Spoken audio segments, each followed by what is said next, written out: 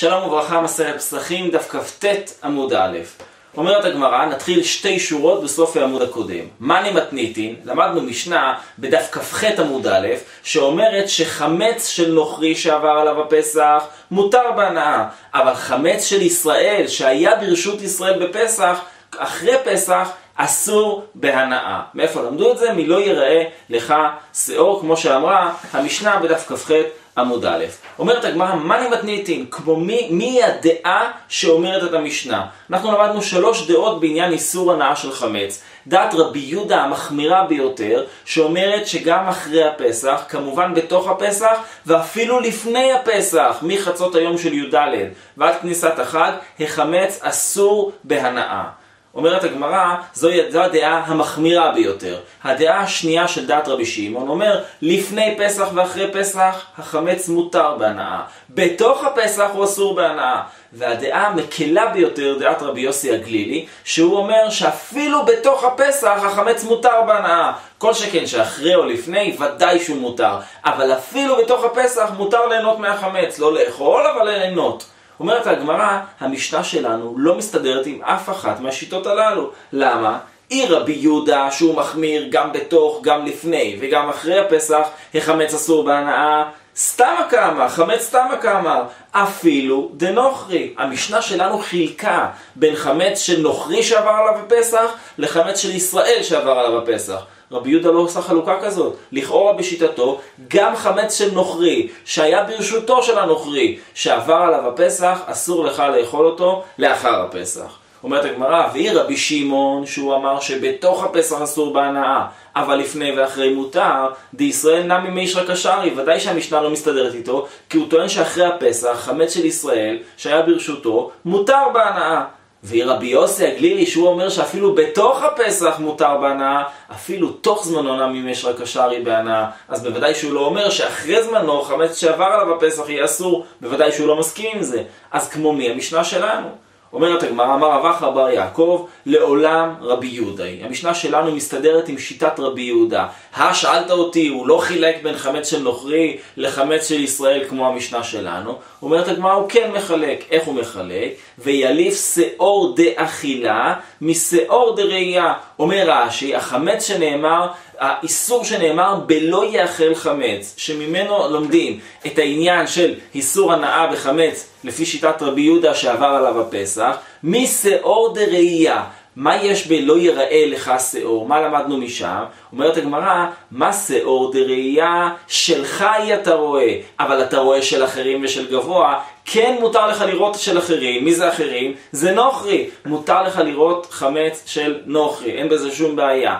אז סימן אומרת הגמרא, אף שאור דאכילה, של חי אתה אוכל, אבל אתה אוכל של אחרים ושל גבוה. מזה הוא לומד, כמו שבשאור של ראייה מותר לך לראות של נוכרי, גם באכילה מותר לך לאכול חמץ של נוכרי, ורש"י יגיד אפילו ששיטת רבי יהודה כאן, שמותר לך מהתורה לאכול חמץ של נוכרי בפסח.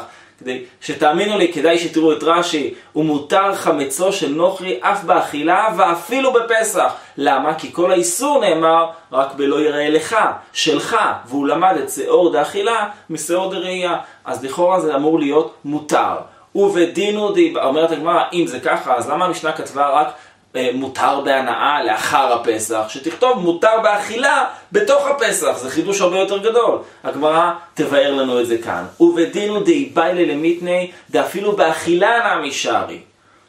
ואיידה, זאת אומרת, באמת היה צריך להיות כתוב שחמצו של נוכרי מותר באכילה לאחר הפסח. עוד מעט ניגע בזה למה זה לא כתוב בתוך הפסח.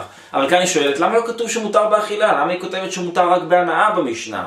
אומרת הגמרא, ואיידה דתנא דישראל אסור בהנאה, תנא נמי דנוכרי מותר בהנאה. זה נגרר אגב ישראל, כי בישראל דיברנו כמובן רק על איסור, על איסור או היתר של הנאה, שם אצל ישראל ודאי שהוא התכוון להנאה דווקא, ולכן גם בנוכרי הוא כתב הנאה, אבל בעצם זה מותר גם באכילה. אומרת הגמרא, למה הוא לא כתב בתוך הפסח, למה הוא כתב לאחר הפסח? ובדין הוא דיבאי ללמיתני, דאפילו בתוך זמנו מותר בהנאה.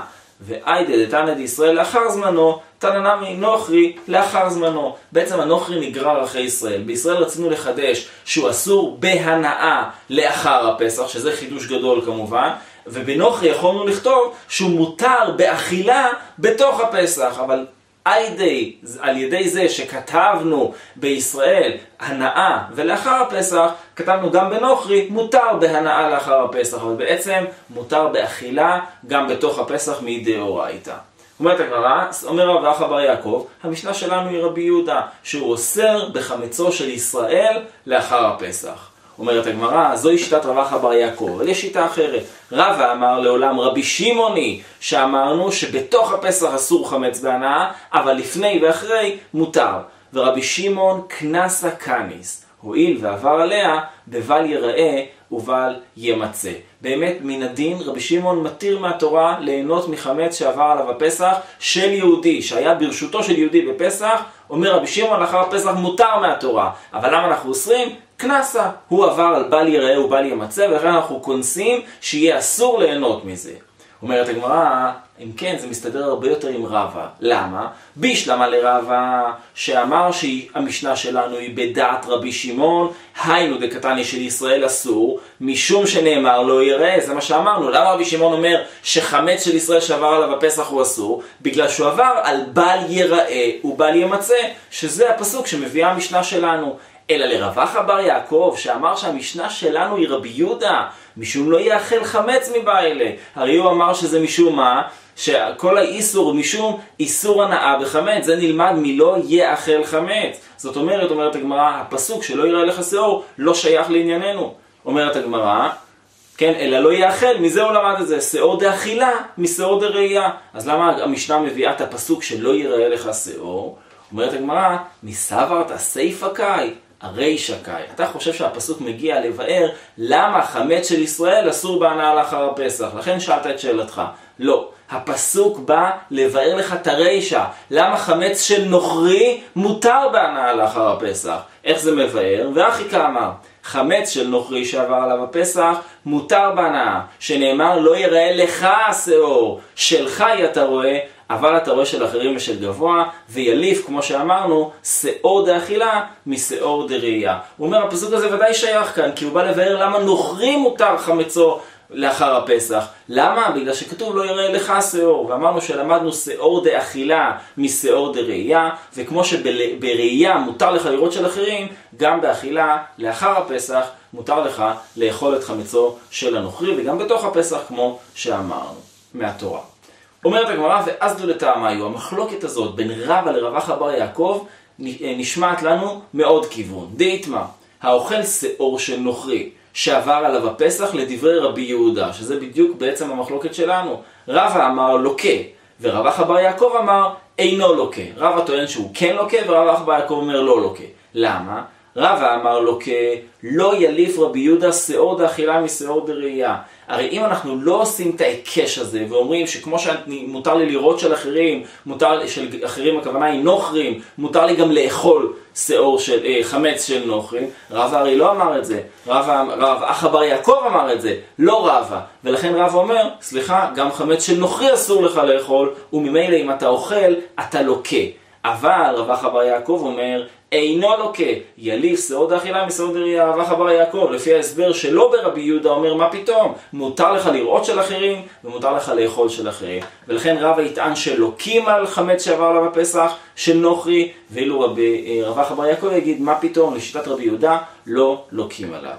אומרת הגמרא, והדר בי רב אחא בר יעקב מאי. אמנם חזר בו רב אחא בר יעקב והודה לרבה שבאמת כן לוקים. מאיפה אנחנו יודעים את זה? מהברייתא שנלמד עכשיו, ברייתא קצת ארוכה, שבסופה נדע למה רב אחא בר, שרב אחא בר יעקב חזר בו. דתניא, האוכל חמץ של הקדש במועד מעל. מה קורה? אנחנו יודעים שההקדש הרי לא, לא זקוק ולא צריך לבאר את חמצו, כמו שאמרנו, אתה רואה של אחרים ושל גבוה. גבוה זה הקדש. אומרת הגמרא, מה קורה אם בן אדם בא ואכל מאותו חמץ של ההקדש? עכשיו, לכאורה הוא אכל חמץ בפסח, הוא חייב כרת. עוד מעט נתייחס לזה. השאלה אם הוא צריך לשלם. השאלה אם הוא צריך לשלם גם נוגעת לשאלה האם יש לחמץ הזה שווי או שבכלל אין לו שווי, כיוון שאין מה לעשות איתו בפסח. אז השאלה אם יש לו שווי ממוני ואז הוא מעל, או שאין לו שווי ממוני ובדיני מעילה הוא לא יכול להתחייב כי צריך כדי למעול שיהיה לדבר הזה שווי ממוני. אומרת הגמרא, דתניא, האוכל חמץ של, של הקדש במועד, תנא קמא אומר כאן, מעל, כן מעל וצריך לשלם קרן וחומש כדיני מעילה. ויש אומרים, לא מעל. זאת אומרת, הוא לא חייב לא קרן ולא חומש ולא שם מעילות ולא שום דבר. למה? כי כנראה אין לזה שווי ממוני, עוד מעט נראה בדעות השונות. מה יש אומרים? מי זה יש אומרים שאומר שלא צריך, שהוא לא מעל ולא צריך לשלם? אמר רבי יוחנן רבי נחוניה בן הקנאי. דתניא רבי נחוניה בן הקנאי עושה את יום הכיפורים כשבת לתשלומים. מה שבת מתחייב בנפשו, הוא פטור מן התשלומים, אף יום הכיפורים מתחייב בנפשו, הוא פטור מן התשלומים. רש"י אומר כאן, אדם ששורף גדיש בשבת, מבעיר אש ושורף, הוא חייב כמובן מיתה. כיוון שהוא חייב מיתה, הוא לא חייב לשלם לבעל הגדיש את שווי הגדיש. למה? כי אין אדם מת, הוא משלם, או קימלי בדרבא מיני, תאשים אותו, או ת, תעניש אותו בדבר החמור. כיוון שהוא חייב מיתה, הוא לא חייב לשלם. כך גם ביום הכיפורים. הוא אומר, יום הכיפורים יש לו דין של פטור מן התשלומים, כיוון שהוא מתחייב בכרת, למרות שזה לא מיתה בידי אדם, גם אז אומר רבי נחוניה בן הקנה הוא פטור. כך גם כאן, כיוון שהוא אוכל חמץ ומתחייב בכרת, ממילא הוא לא צריך לשלם. לכן, מי, מי, מי אמר שהוא לא מעל? זה שאומר שכרת נחשב למיטה כזאת שפוטרת מן התשלומים, ולכן הוא לא חייב לשלם את החמץ הזה של ההקדש שהוא אכל. הנה מצאנו דעה. רב יוסף אמר, לא, הם לא חלקו בזה, רב יוסף אמר, בפודין את הקודשים להאכילן לכלבים קמיפלגי. האם מותר, למשל, אם אין לך שום שימוש אחר, בן אדם לא יכול לאכול את אותו הקדש, אבל כלב כן יאכל. האם מותר לפדות את הקודשים כדי להאכילם לכלבים, או שזה לא ראוי ולא, ולא, ואסור? מאן דאמר מעל, קסבר פודין את הקודשים להאכילם לכלבים. ומאן דאמר, לא מעל, קסבר אין פודין. הרי היהודי לא יכול לאכול את זה. ממילא מה נשאר? לפדות את זה בשביל הכלבים. האם מותר או לא מותר? אומרת הגמרא, מי שאומר שהוא מעל, מותר. סימן שהיה להם איזשהו שווי שהיה אפשר למכור אותם, ולכן הוא מעל. מי שאומר ש... לא מעל, הוא סובר שאסור לפדות את הקודשים כדי להאכילן לכלבים, וממילא אין להם שום שווי כספי, ולכן הוא לא מעל. אומרת הגמרא, רש"י כאן מסביר מאוד יפה את המחלוקת, האם מותר לאכילם לכלבים, אסור לאכילם לכלבים, רש"י מביא את המקור ממסכת תמורה. רווח ברבא תנילה, להא שמעתא משמי דרב יוסף בהא לישנא. כן, רב, רבחה מביא בשם רב יוסף שיטה אחרת במחלוקת הברייתא הזאת. דחו לעלמא, אין פה דין את הקודשים לאכילם לכלבים, אסור. אז במה הם חולקים כאן? ואחא באקא מפלגי, בדבר הגורם לממון כממון דמי. תראו, החמץ הזה עכשיו של ההקדש לא שווה ממון. אחרי הפסח הוא יהיה שווה ממון, כי זה לא נחשב לחמץ שעבר עליו הפסח, הרי השאירו אותו בהיתר. זאת אומרת, אחרי הפסח הוא יהיה שווה ממון. האם זה נקרא שהוא, אם אדם מעל בו עכשיו, בפסח, כיוון שהוא יגרום לממון לאחר הפסח, הוא כבר נחשב למעילה ויש לו איזשהו שווי, או שכיוון שעכשיו הוא לא שווה כלום, זה לא, אין דבר הגורם לממון כממון דמי. אומרת הגמרא, בדבעך באקא מפלגי, בדבר הגורם לממון כממון דמי. כמו החמץ הזה שעכשיו הוא לא שווה, אבל הוא אחרי פסח יכול כן לגרום לממון. דמאן דאמר מעל כסבר דבר הגורם לממון כממון דמי, ולכן הוא מתחייב עכשיו. ומאן דאמר לא מעל כסבר דבר הגורם לממון, לאו כממון דמי, ולכן עכשיו, כיוון שהוא לא שווה כלום, הוא לא מעל ולא מתחייב בשום עניין של מעילה. זוהי המחלוקת. עכשיו הגענו לרב אחא בר יעקב שבשבילו הבאנו את הברייתא, להגיד שהוא חזר בו וגם לפי רבי יהודה מתחייב מלקות על חמץ שעבר עליו הפסח של נוכרי. רב אחא בר יעקב אמר, דחו לעלמא הדבר הגורם לממון כממון דמי, ולכן לכאורה החמץ הזה יש לו שווי והוא צריך להתחייב, אז למה אומר לא מעל? ואחא בפלוגתא דרבי יהודה ורבי שמעון כמפלגי. מאן דאמר לא מעל כרבי יהודה, ומאן דאמר מעל כרבי שמעון. אומרת הגמרא, רגע, אם רבי יהודה, רב אחא יעקב טוען כאן שמה? שמי שאומר לא מעל, זוהי שיטת רבי יהודה, ומי שאמר מעל זה כרבי שמעון. אומרת הגמרא, והרב אחא בר יעקב דאמר, דרבי יהודה יאליף שאור דאכילה משאור דראייה. למה הוא לא מעל לפי רבי יהודה? הרי לכאורה, מיד אחרי זה יהיה מותר, כיוון שחמץ שעבר עליו בפסח, אם אתה לומד את שאור דאכילה משאור דראייה, של נוחי מותר. אם הוא מותר, ממילא, אומרת הגמרא שנוחי ושל גבוה מותר. אומרת הגמרא, אז ממילא הוא צריך להיות כממון דמי, אומרת הגמרא, כי דבר הגורם לממון כממון. אומרת הגמרא, אלא הדר ברב אחא בר יעקב מהי. מזה שהוא אומר כאן במפורש, שרב יהודה, כן, אה, אה, שרב יהודה אומר שהוא לא מעל, זאת אומרת הדבר הזה כרגע אין שווי, וגם לאחר הפסח יתחייב במלקות על הדבר הזה, סימן שהוא חזר בו ואמר באמת שחמץ שעבר עליו הפסח מתחייב במלקות, ואסור לאכול אותו כמובן, וממילא אומרת הגמרא, הוא חזר בו מדבריו. רב אשי אמר, לכולי עלמא אין פה דין. רב אשי מנסה להסביר את המחלוקת בצורה אחרת. כולי עלמא אין פה דין את ההקדש לכלבים, כמו שאמרנו, ודבר גורם לממון, לאו כממון דמי. זאת אומרת, אין לו שווי בכלל. אז איך אני יכול להגיד שהוא מעל? ואחא בפלוגתא דרבי יוסי הגלילי ורבנן כמפלגי. מאן דאמר מעל כרבי יוסי הגלילי, שאמרנו שהוא מתיר ליהנות מהחמץ בתוך הפסח. אם כן, יש לו הנאה מזה עכשיו, ויש לו שווי ממוני, ולכן הוא מעל, ההקדש יכל למכור את זה עכשיו, ולקבל עבורו ממון, ולכן זה נחשב למעילה. ומאן דאמר לא מעל כרבנן שאוסרים הנאה מהחמץ בפסח, ודבר הגורם לממון לאו כממון דמי, ולכן, אומרת הגמרא, רבנן סוברים שהוא לא מעל, כיוון שאין לזה שום שווי ממוני. לעומת רבי יוסי גלילי שאומר שמותר ליהנות מהחמץ בפסח, יש לו שווי ממוני, וממילא הוא מעל. אומרת הגמרא, אמר רב. עכשיו אנחנו נכנסים לסוגיה שקשורה בענייני תערובות, בענייני איסור והיתר, באיסור של חמץ שנתערב בדבר אחר. אמר רב, חמץ. בזמנו, הכוונה היא בתוך החג, בין במינו, בין שלא במינו, אסור. למשל, אה, אה, חמץ, כן, שנתערב, פת של חמץ, או, או אפילו מצה של חמץ. שנתערבה בתוך שאר מצות שהן כשרות לפסח. אתה לא יודע בדיוק איזה מצה. עכשיו, אנחנו לא ניכנס לכל הדינים של יבש ביבש כמו מצה אה, פסולה או מצת חמץ במצות כשרות, או לח בלח, או יבש בלח, יש לזה הרבה מאוד דינים. אנחנו נקרא את הדברים כפשוטם, כדאי להסתכל גם ברש"י וגם בשאר המפרשים. באופן פשוט, חמץ בזמנו, חמץ בתוך הפסח, בין במינו, בין דבר שהוא התערב ממש באותו דבר שלו, במינו, רק שהוא היה כשר לפסח והוא היה לא כשר לפסח. בין שלא במינו, הכוונה היא בדבר אחר לגמרי, אסור. עוד מעט נסביר למה. למה גם במינו וגם שלא במינו, אסור. שלא בזמנו, אחר הפסח, במינו אסור, שלא במינו מותר. אם הוא נתערב במינו, עדיין אסור, גם לאחר הפסח. אבל שלא במינו, מותר.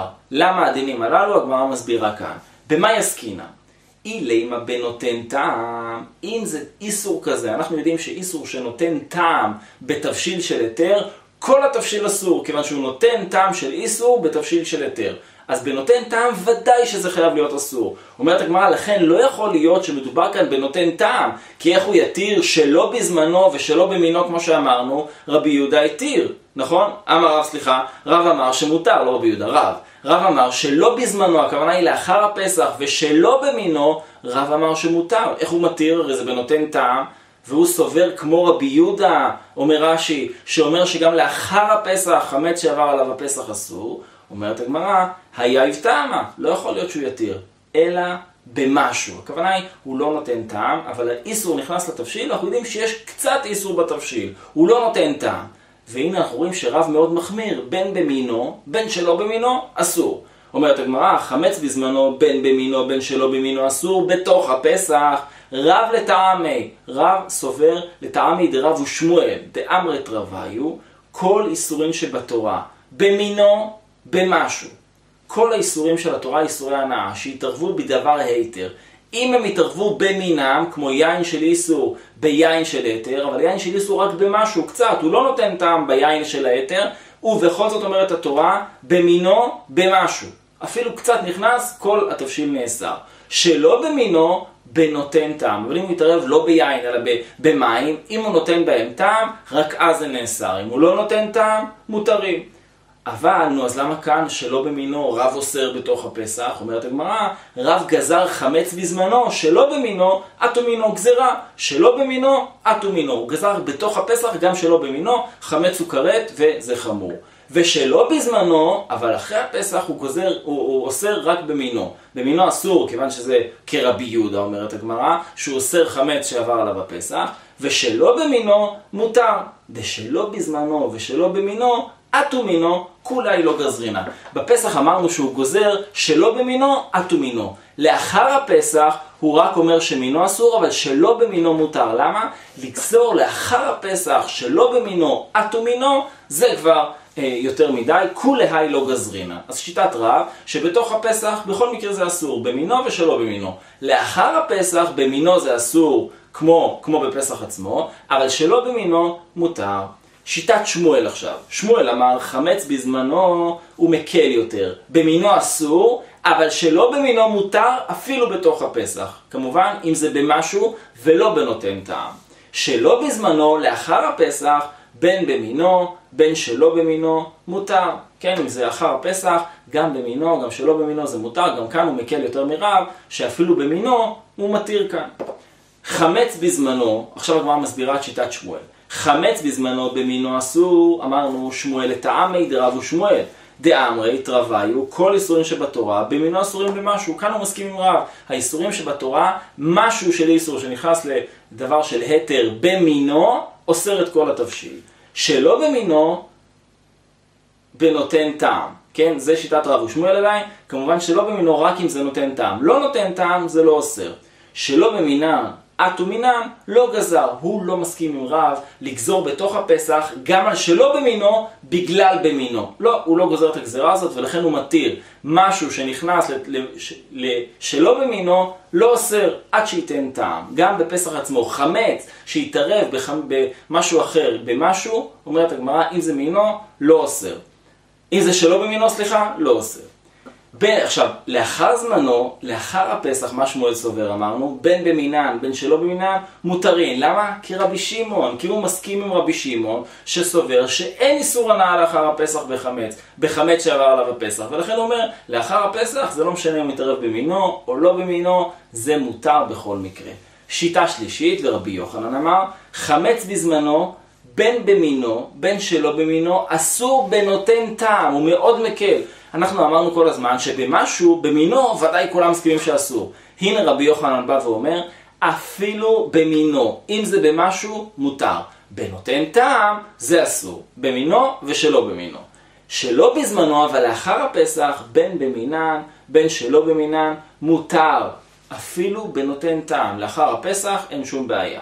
עכשיו הגמרא מסבירה את שיטתו. חמץ בזמנו בין במינו בין שלא במינו, בנותן טעם. למה הוא אומר שנותן טעם זה הגדר ולא במשהו כמו שכולם אמרו עד עכשיו? רבי יוחנן לטעמי, דרבי יוחנן וריש לקיש, דאמרת רבי, הוא מסכים עם רבי יוחנן וריש לקיש. מה הם אמרו? כל איסורים שבתורה, בין במינן, בין שלא במינן, בנותן טעם, לא במשהו כמו שאמרנו במינם אצל, אצל רבי יוחנן ורבה, אלא, אומר, אה, ורב, אלא הם סוברים שרק בנותן טעם זה אוסר, במינם ושלא במינם. שלא בזמנו לאחר הפסח, בין במינו, בין שלא במינו, מותרים בגלל רבי שמעון. הוא גם מסכים, זאת אומרת יוצא. גם רבי יוחנן מסכים שרבי שמעון, אה, אה, כרבי שמעון, שהוא מתיר בחמץ שעבר עליו הפסח בהנאה, ולכן אם הוא יתערב לאחר הפסח זה לא משנה, בין במינן, בין שלא במינן, מותרים. בתוך הפסח, לפי שיטת רבי יוחנן, רק בנותן טעם הוא אוסר. מהי ההלכה שפוסקת הגמרא, נראה בעזרת השם בתחילת הדף הבא. עד כאן.